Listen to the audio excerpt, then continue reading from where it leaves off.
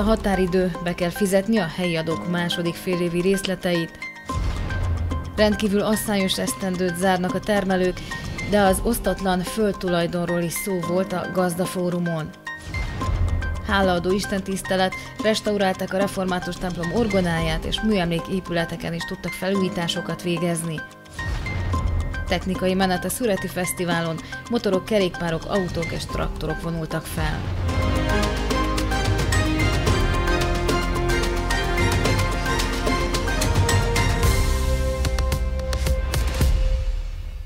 Jó estét kívánok! Ez a Halas Televízió keddi hír összefoglalója. Kérem, tartsanak velünk! Szeptember 15-én, vagyis holnap lejár a helyi adók befizetési határideje. A második félévi részleteket kell most rendezni. A Halasi Városháza adócsoportja még tavasszal kiküldte a tájékoztatókat és a csekkeket is. Sokan egyszerre befizették az egész évi adójukat, nekik most nincs teendőjük. A héten a témára még részletesebben is visszatérünk. Megtudhatják például, hogy milyen módokon lehet teljesíteni a befizetéseket azoknak, akik eddig ezt még nem tették meg. A gépjárműadókat már nem az önkormányzat, hanem a Nemzeti Adó és Vámhivatal szedi be, de a határidő ott is szeptember közepe. Születi Gazdafórum szó volt az osztatlan földtulajdon megszüntetésével kapcsolatos új törvényekről és a gabona kukorica esetében tapasztalható asszály hatásairól. A Halas és környéke gazdakör tartott gazdafórumot a hétvégén a Közösségek házában. A találkozón Bányai Gábor országgyűlési képviselő köszöntötte a vendégeket, mint mondta, nagyon kevés zöldség fogy Magyarországon, ezen kellene változtatni. A gazdakör minden esztendőben fórumra várja a termelőket, gazdálkodókat a Szüreti Fesztivál napján. Csanádi Lajos a gazdakör elnöke, valamint Bányai Gábor országgyűlési képviselő is köszöntötte a megjelenteket. Bányai Gábor elmondta, Magyarországon nagyon kevés zöldséget és gyümölcsöt fogyaszt a lakosság. Beszélt arról is, hogy miközben ebben a térségben is minden adott a termesztéséhez, mégis külföldről hozzák be az üzletek a paradicsomot. A politikus szerint a fiatalokat is ösztönözni kell, ehhez azonban a pályázati feltételrendszer észszerűsítésére, módosítására is szükség lenne. Cseh Tibor András a magos szakmai titkára az osztatlan földtulajdon megszüntetésének módjairól tájékoztatta a termelőket. A magyar termőföld vagyonnak közel a fele, tehát két és fél millió hektár osztatlan közös tulajdonban van. Magyarországon 4 millió osztatlan közösben lévő tulajdonos van. Ezek a számok. A tavalyi évben a parlament döntött arról, hogy egy sokkal egyszerűbb és gyorsabb eljárást vezet be, ugyanis az elmúlt 30 évben ebben a problémát csak görgettük magunk előtt, sőt az örökléssel még szaporítottuk is egyébként az osztatlan közösség számát. Most ugye két nagy lehetőség van az osztatlan megszüntetésére, nagyobb parcellák esetében ugye egy osztóprogrammal történik az eljárás, ez egy összetettebb folyamat, és most úgy látjuk, hogy a második típusú eljárás az, ami igazán fut, ezek a bekebelezések. Tehát amikor egy törpe parcellánál teljes területet az egyik tulajdonostárs szerzi meg, a többiek kifizetésével természetesen. A gabona és kukorica ültetvényeket érintő asszályról Petőházi Tamás a Gabonatermelők Országos Szövetségének vezetője adott átfogó képet. A szakember szerint az elmúlt 25 esztendő egyik legszélsőségesebb időjárása volt a mostani. Nemhogy szemtermést, csövet nem tudtak nevelni. Ebben a térségben is kiemelt jelentősége van a kukoricavető magellátásnak.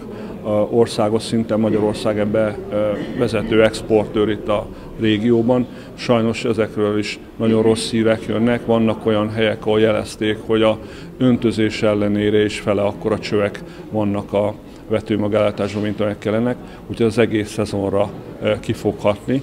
Nem hiába nagyon magasak a kukorica árai, ezek az árak még fölfelé mozdulhatnak. A prognózisunkat, a várható termés prognózisunkat csökkentenünk kellett a héten, és a jövő héten is azt hiszem még egy csökkentést be kell jelentenünk, úgyhogy ilyen 6 és 7 millió tonna közti kukorica termésre számíthatunk. Ez közel 30%-os kiesés az előző évekhez képest. Ennek megfelelően az árak magasok, csak ugye sajnos itt egyéni tragédiákat nem tudunk elkerülni, mert akinek nem termet, hiába magas, a zárbevétele nem lesz meg. Sok éves álom valósult meg a Halasi Református templom orgonájának felújításával. A műemlék hangszert közös összefogásból sikerült restaurálni. Az orgona és a műemléképületek felújítása alkalmából hálaadó istentiszteletet tartottak vasárnap Balog Zoltánnak, az egyházkerület elnökének, a zsinat lelkészi elnökének jelenlétével.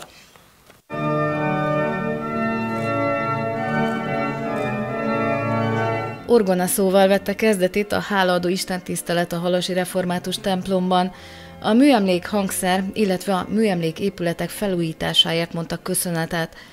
Balogh Zoltán, a Magyarországi Református Egyház zsinatának lelkészi elnöke hirdetett igét.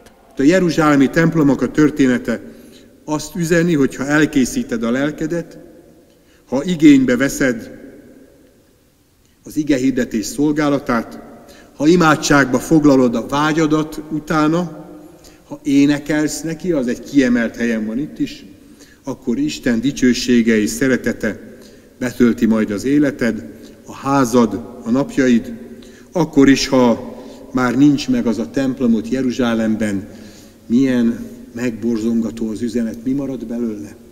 Siratófal. A sírásnak a helye, de mégiscsak az imádság helye.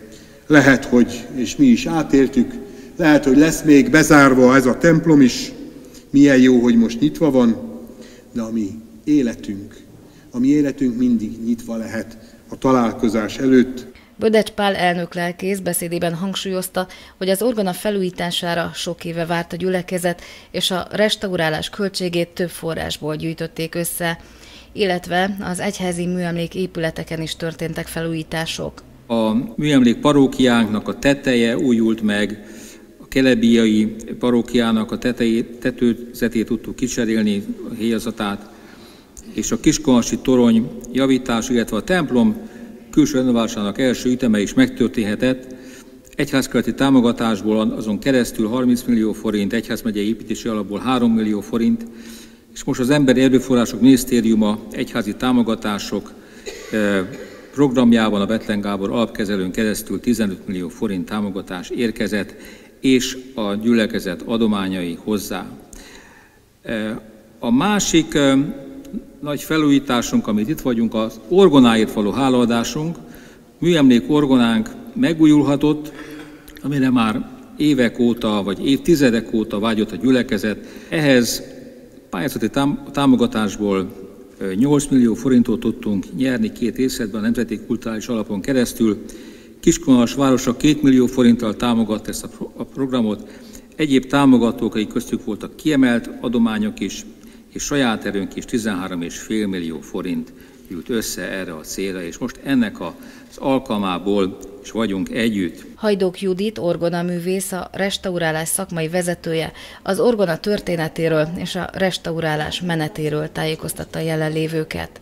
Itt már bent az orgona szekrényben a sípmű egy része, itt látjuk a fémsípokat restaurálva, 1050 síp van az orgonában, itt látjuk, pótolni is kellett egy sort, egy regisztert, és itt összehasonlítva lehet látni felül a restaurálatlan sípmű és alul a restaurált sípmű. Az eseményen a Lórántfi Zsuzsanna kamarakórus közreműködött.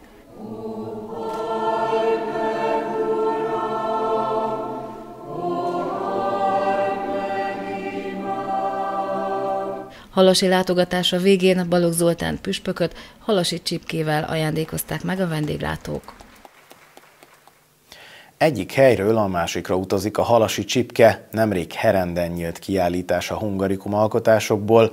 A halasi csipke bemutatkozott a fővárosban, a Szent István téren, az 52. Nemzetközi Eukarisztikus Kongresszuson is. Külföldi meghívásnak is eleget tett a halasi csipke. A horvátországi Lepoglavában, az ottani csipkekészítés Fellegvárában Magyarország volt a díszvendége a 25. Nemzetközi Csipke Fesztiválnak. Így az elmúlt napokban nagyon sokan megcsodálhatták a halasi iparművészeti remekeket, és bepillantást nyerhettek a csipkevarrás folyamatába. Pöfögtek, dudáltak. A Halasi Szüreti Fesztivál programjaként vasárnap kora délután masírozott végig a technikai menet Halas főutcáján, majd érkezett be a főtérre. Motorok, kerékpárok, veterán járművek és traktorok színesítették a menetet.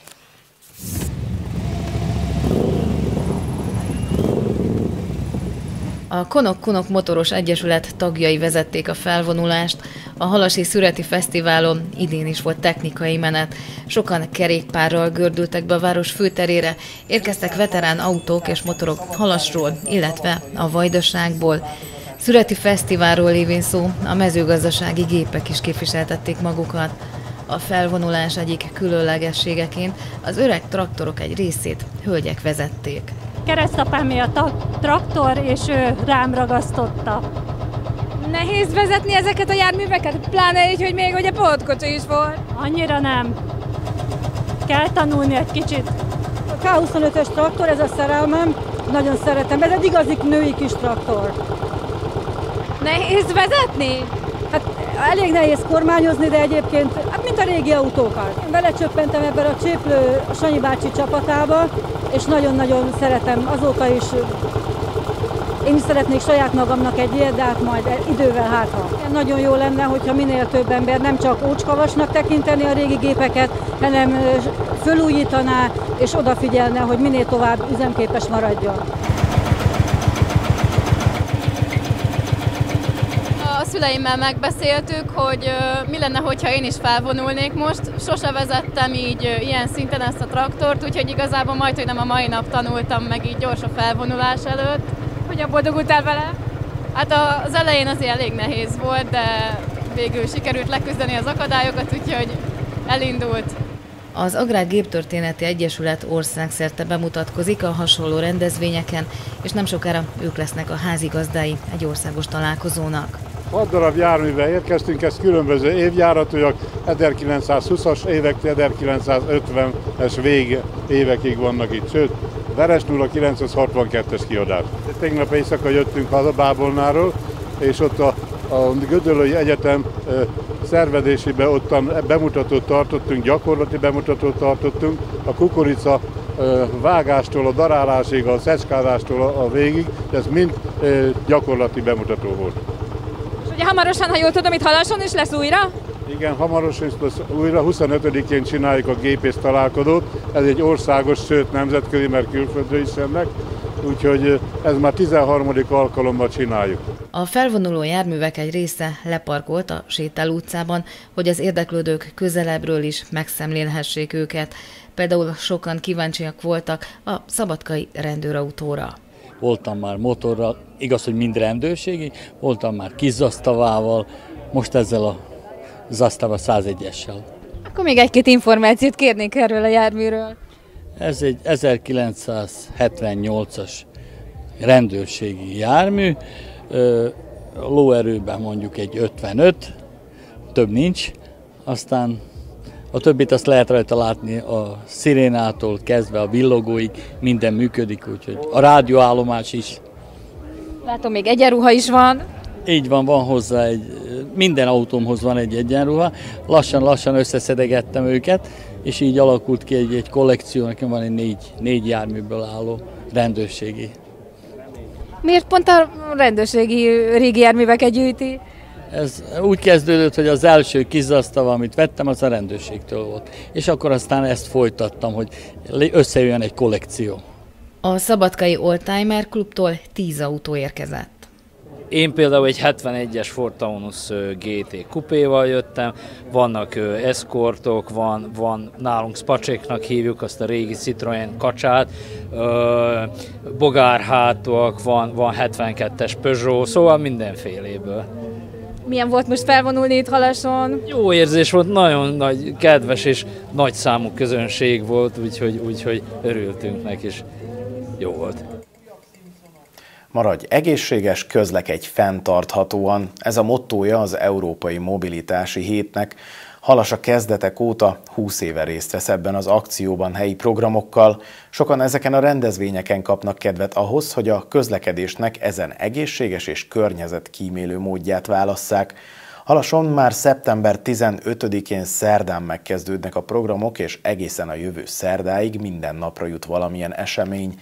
15-én szerdán 18 órától Halasi Anzix címmel kerékpáros körtúra lesz a városban. Indulási hely a Sétáló utcai közösségek háza. Az autómentes napi programok e hét pénteken lesznek Halas főterén, és idén is lesznek túrák a környező településekre. A bringás reggeli pedig szeptember 22-én szerdán várja majd a kerékpárral munkába, iskolába igyekvőket. Az elkövetkező napokban a Halasi Média és Kultúra Kft. minden felületén találnak majd tájékoztatókat az Európai Mobilitási Hét programjairól. Sok művészettörténész érkezik Kiskunhalasra és Erdélyből is várnak előadókat. A Halasi Torma János Múzeum a Nagybányai Művésztelep alapításának 125. évfordulója alkalmából egésznapos konferenciát rendez. Szeptember 17-én pénteken neves szakemberek tartanak előadásokat, többféle szempontból mutatják be a művésztelep alkotóinak munkásságát és a Nagybányai Művésztelep hatásait a konferencián a részvétel regisztrációhoz kötött. Szerdán reggel jelenik meg a Halasi Tüköridei 37. száma. A lap természetesen kiemelt figyelmet szentelt a hétvége legnagyobb városi eseményének, a születi napoknak, amelyről képes összefoglalót közöl a lap. Az újság beszámol a református templomban megtartott hálaadó istentiszteletről, amelynek vendége volt Balogh Zoltán egyházkerületi elnök is. A tükör újságírója Lantos Zitával beszélgetett, aki a közelmúltban egy gánai misszión járt, és azt tervezi, hogy hamarosan visszatér az afrikai gyermekek közé. A labban interjút találnak a Kossuth díjas Kovács Katival, aki szerint érdemes mindenkinek felfedeznie Magyarországot. Kedves nézőink, most egy-egy mondatban röviden összefoglaljuk mai híradónk legfontosabb témáit. Itt a határidő, be kell fizetni a helyi adók második félévi részleteit. Rendkívül asszályos esztendőt zárnak a termelők, de az osztatlan földtulajdonról is szó volt a gazdafórumon. Hálaadó istentisztelet, restaurálták a református templom orgonáját, és műemlék épületeken is tudtak felújításokat végezni. Technikai menet a Szüreti Fesztiválon, motorok, kerékpárok, autók és traktorok vonultak fel.